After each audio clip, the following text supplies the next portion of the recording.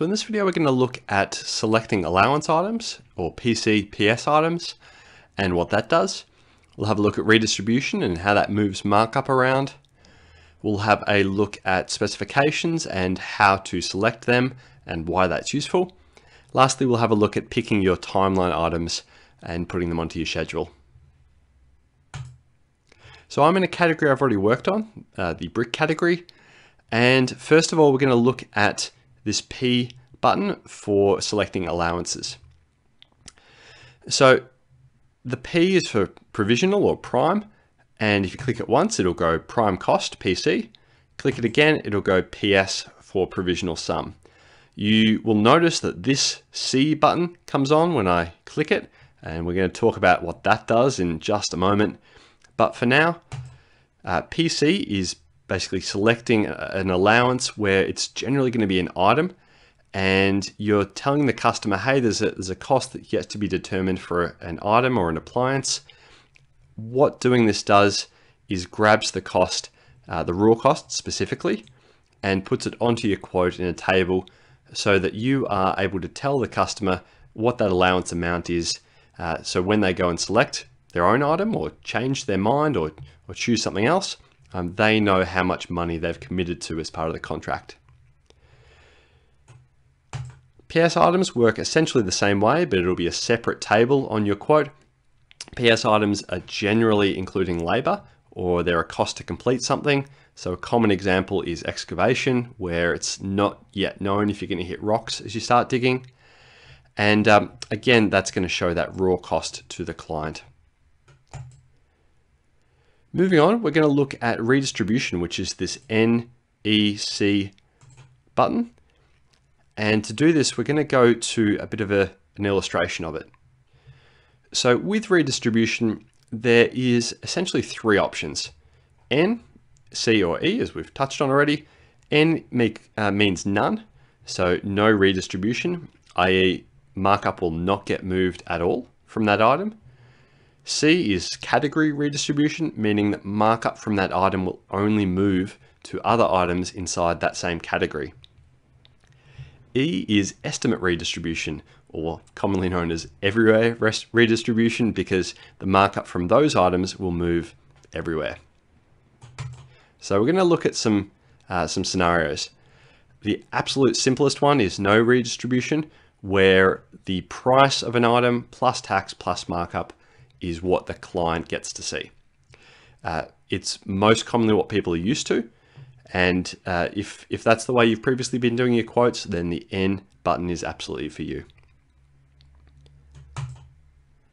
The C button or category redistribution, what I've done here is say that item three, move the markup from that. And because it's C, it'll move the markup within the category. So it'll move it to items two and one. In the second category, I've purposefully picked a bit of a curly example where it can't move the markup within this category because all of the items in that category are redistributing markup. In that case, what it does is it moves the markup uh, as though it's the E option. So it moves it everywhere within the, uh, the estimate. So when we click the next, uh, the next slide to move forward, it'll show where the markup's going to land, which is on these two items uh, within the first category. Looking at estimate redistribution, so I've turned it on for items three here, items two and three in the next category. And this is a bit simpler in that the markup basically just goes everywhere uh, where that item does not already have the redistribution button on. So what I mean here is the markup from this item will move to every other item that doesn't already have E or C showing in this redistribution box. Hence, item 1, 2, and 1 are the ones that get the uh, markup redistributed.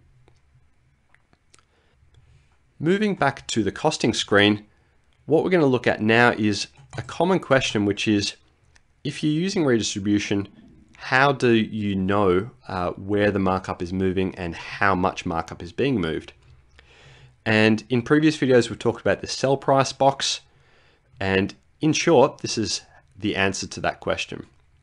So the raw cost of the bricks is 5175 If I click on this sell price, it'll say 5175, no markup, because remember it's being moved within the category. Uh, no markup, no redistribution, because it's not getting markup from other items because it can't, because it's already moving its own markup. So the total without tax is 5175 plus tax gives us 5692. If I look at the next item, which is the labor, this item is getting, well, it's got a raw cost of 3403. It's got its own markup of 816, and I can click show breakdown to figure uh, to basically dig into that some more. Redistribution, it's having markup moved onto it from, well, I'll find out, I'll go show breakdown. In this case, just one other item, but it could be several. And this will show me how much markup's coming onto it from elsewhere. So all that gives us this total. Tax on that is this much. So the grand total or the sell price of this item is $6,008. So the short answer is this will always be the sell price, even if markup is being redistributed, because the maths will be done and you'll be able to see within this box how it's been done. A common question we also get is, why would I be moving markup?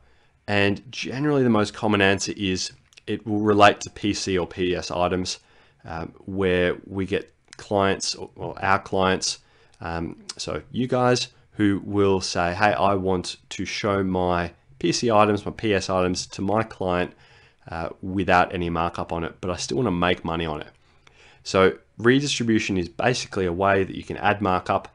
It'll still be in the contract total, but it'll be moved onto other items so that when you're showing a price to a customer, they are um, seeing the price that you want them to see. Very much personal preference. If you if it's something that you want to uh, use yourself, uh, very much important that you know how it works.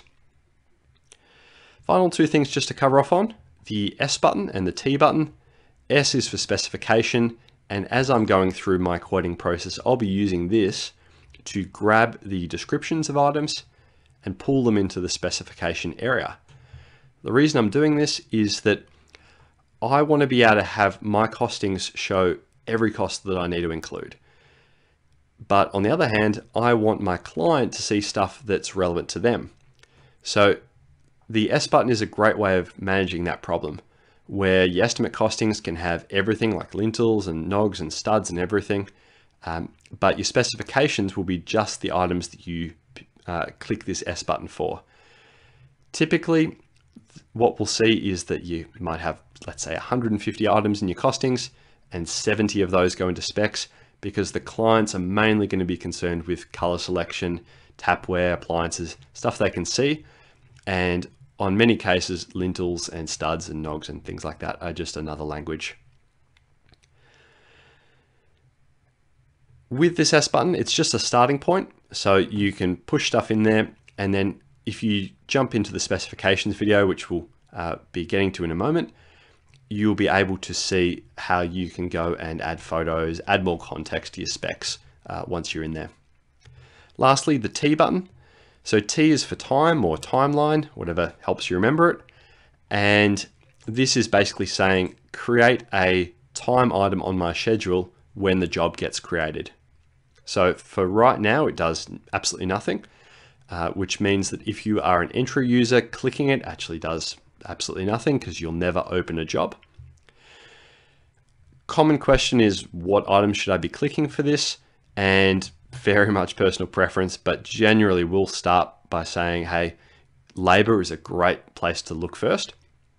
But honestly, you can put whatever you like in. So we might have people who use bricks and labor where they're adding bricks as a reminder to send the purchase order.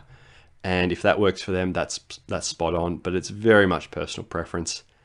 Also, like the specifications, once they get into the, the schedule itself, you can tinker with them, you can change them, you can add more, you can do whatever you like. Uh, so it is really just getting that ball rolling. Great, so that's how uh, allowances work, how the redistribution works, and how specifications and timeline items are managed.